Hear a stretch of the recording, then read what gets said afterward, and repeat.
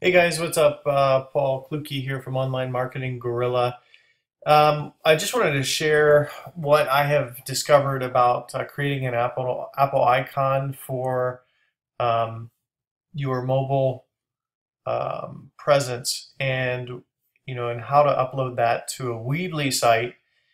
And so, essentially, what you have here is, um, you know, when somebody wants to save your website to their home page um, what they have to do is they have to go into your website and then they click the kind of like the uh, upload or download share slash share button. And it gives you an option to uh, save save it to the um, home screen. And unfortunately it'll just take a mini snapshot of the entire um, website. And so what people are doing now is they're creating an Apple icon to put on you know, for the mobile devices for people that want to do that. So I'm going to show you how to do that um, here.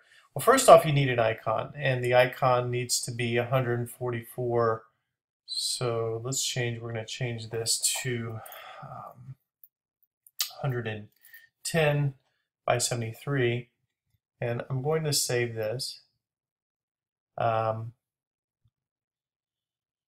and we'll save it here. We'll replace the image there since I don't need the other image. And now what we're going to do is we're going to um, want to create a new image and simply call it apple dash touch dash icon. And we want to uh, make it 144 by 144. And uh, I like to change the color of the background, so I'm going to make this, um, well, we're not going to make it pink, we'll make it um, blue. And that kind of came out purple, so stand by. One more, there we go. And all right, and I'm going to go ahead and also open an image as a layer. There we go. And I like that, right? So I'm going to go ahead and save this. Apple Touch icon. And now you need to save it into a PNG format. Hit OK. And uh, we'll save that. It's going to replace the one I currently have that I just used on the desktop, but that's fine. So now what I want to do is I want to go into the site where I want to upload it. And I'm going to go into Edit,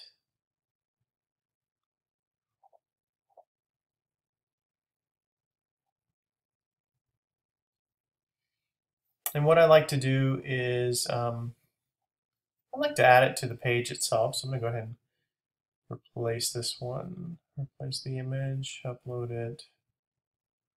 Here we go. Cool. And I'll publish that so I have it.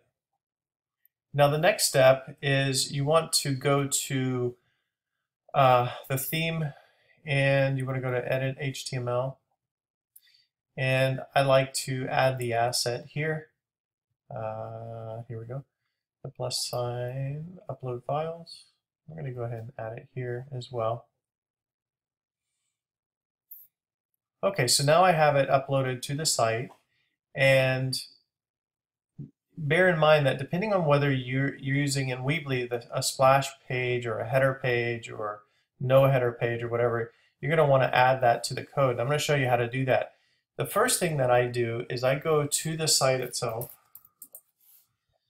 and simply go up to my tools and I go to web developer, go to page source, and then I type in um,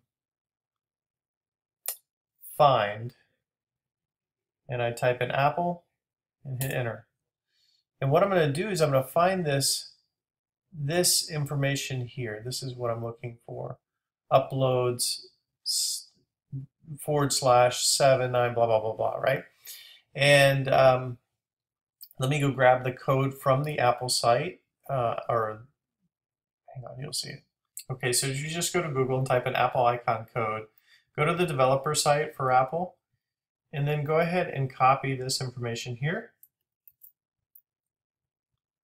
Go back over to your header page and go where it's in the head right at the very top between uh, this area, what you want to do is drop this information into here. Right, so I'm going to go ahead and drop it into there. And this is, this is the part that we want to replace with what we found over in the page source. Uh, let me see where I put that. Okay, that this is the part we want to take and drop into here. Then we're going to save this and publish. Now, if you haven't, if you're doing this for the first time, it may prompt you to, to rename the um, the name of the, the website. I mean, I'm sorry, the name of the theme, which I just use something that I can remember. It's not a, a big deal. What you want to do is you also want to enable this. So now we have that in the header and we can grab this right here, this piece of code. We can go to the splash page and again where it says head,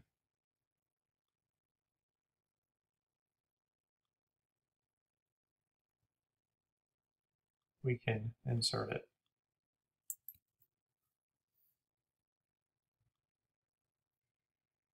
Cool. Now, if uh, we, if you were, if we were to go to my um, iPhone, let's see if I can switch this. I guess I'm not going to be able to switch on the um, what I wanted to see here, but what I'm going to do is I'm going to go ahead and uh, see if it worked on my end. So I'm going to go to the website I'm going to refresh it on my iPhone. I'm going to go to the button that allows me to add it, and there it is. So that worked perfectly. Okay, um, hope that helps you guys. Uh, that is the way that I've been doing it, and it seems to be working fine. Talk to you soon.